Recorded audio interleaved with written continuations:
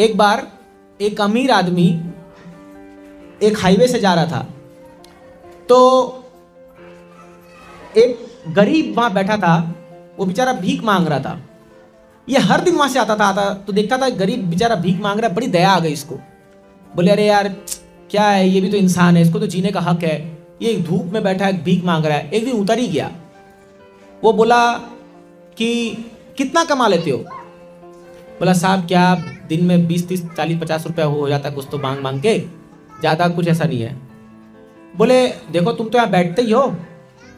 एक काम करो, मैं तुमको एक धंधा देता हूँ। तुमको मैं काम देता हूँ, वो काम करो, तुम पैसा कमाना। बोले, साहब, क्या काम है? बोले, मेरा एक फार्म हाउस है, मेरा वहाँ पर बहुत सारा सब्ज़ी उब्जी उगता है। मैं वो सब्ज़ी तुमको ला के देता हूँ, तुम खाली यहीं तो बैठे रहते हो। वो सब्ज़ी बस बिछा के यहाँ बैठ जाओ। और एकदम फ्रेश सब्ज़ी है, एकदम तुरंत बिकेगा। तो बोले तो वो बोला, कितना मिलेगा मेरे को? तो बोला, वो बोला, गरीब बोला कि, सर, कम से कम मैं, मुनाफा में दस परसेंट मेरा होगा, दस टका, तब जाके मैं ये मेहनत करूँगा। बोला, दस टका नहीं, नब्बे टका तुम्हारा। बोला, नब्बे परसेंट तेरा, दस परसेंट मेरा।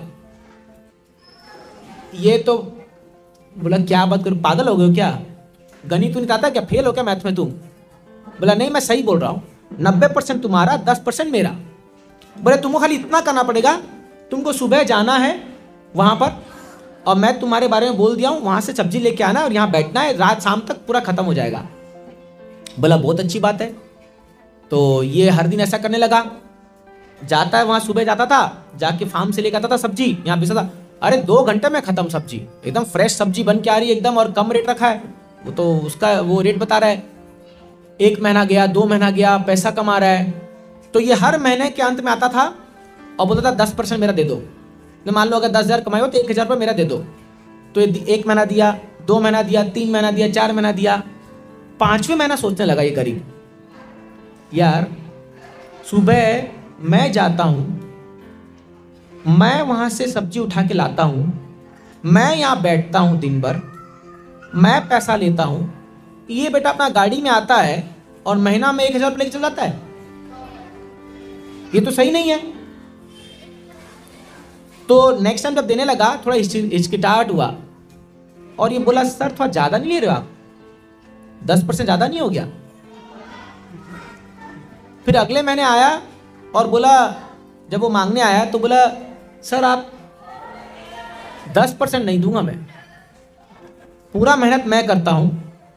मैं जाता हूँ, आपके फार्म सब्ज़ी मैं लेके आता हूँ, मैं यहाँ बैठता हूँ, मैं कमाता हूँ, मैं पैसा लेता हूँ, मैं तोल मोल करता हूँ। आप केवल आते हो और ले जाते हो फटले। एक हज़ार रुपया, दस परसेंट। ये बोला, भाई, तू किस दुनिया में तू यहाँ भीख मांग रहा था। मैं आया तेरे को, मैं तेरे को काम दिया और मैं नब्बे परसेंट तेरे को दे रहा हूँ। बोला बक तू भिकारी बनने के लायक ही है। पड़े रहीं पर। कल से बंद। वो वहाँ कॉल कर दिया, बोला इसको कोई दरकारी सब्ज़ी देने की। अपने फार्म हाउस में। वो वहीं भीख बन के आ गया। फिर भीख मांगनी पड़ी उसको। आप समझ रहे हो मैं क्या बोल रहा हूँ? चौबीस घंटा हमको भगवान दिए, ठीक है? जल हमको भगवान दे रहे हैं, हवा पानी भगवान दे रहे हैं सूर्य देव भगवान दे रहे हैं। अब जब भगवान बोले, भाई तू मेरे लिए दो घंटा निकाल ले, दस परसेंट। हम क्या बोलते हैं? भगवान, दस परसेंट, बहुत मांग रहे हो। हम बोलते हैं दो घंटा जब कीजिए सोलह माला। तो जब भगवान बोले, भाई, सोलह माला कर ले कम से कम, दो घंटा दे दे मेरे को। बहुत ज़्यादा है भगवान, नहीं दे सकता। भगवान बोले कि तू लायक नहीं है मनुष्य के, निकल जाए यहाँ से। समझ रहे इस बात को? देखिए, ये बात मानिए तो कहानी थी, लेकिन समझिए, हमको जो भी मिल रहा है अभी, हम एक निवाला भी खाना खा पा रहे हैं, ये भगवान की देन है। भले आप बोलोगे, मैं ऑफ़िस जाता हूँ, मैं कमा के लाता हूँ। माताएँ बोलती हो कि मैं कुकिंग करती हूँ, मैं सब्ज़ी खरीद लाती हूँ, सब मैं करती हूँ। बट फिर भी अगर भगवान न चाहते तो ऐसे कितने लोग हैं जिनको रात को भूखा सोना पड़ता है? पड़ता है कि नहीं पड़ता है। आप बड़े भाग्यशाली है। कम से कम हमारे दो हाथ पाँव तो सलामत है।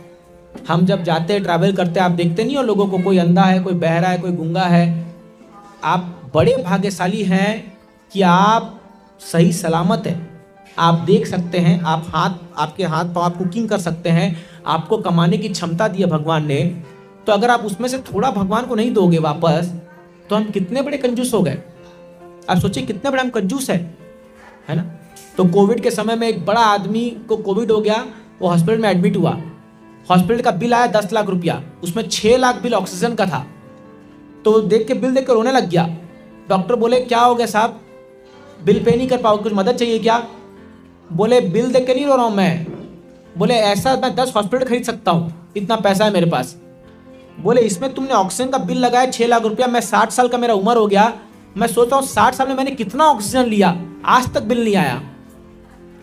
अभी दस दिन में ये मैं दस दिन का ऑक्सीजन पाया तो छह लाख का बिल आ रहा है। तो सोचो, साठ साल में कितना मैंने ऑक्सीजन लिया। उस भगवान को धन्यवाद है जो चौबीस घंटा ऑक्सीजन दिए जा रहे दिए जा रहे मान लो एक सेकंड के लिए बंद कर दो ऑक्सीजन। क्या होगा, सोचिए आप। क्या होगा जरा सोचिए। तो थोड़ा दिमाग लगाइए, सोचिए, हम कितने ऋणी हैं भगवान के। और भगवान के नहीं, आप सभी के ऋणी हम लोग, देवताओं के ऋणी। अब ये जो बारिश हो रही है, क्या फोकट में हो रहा है? इंद्रदेव के ऋणी बन गए आप लोग।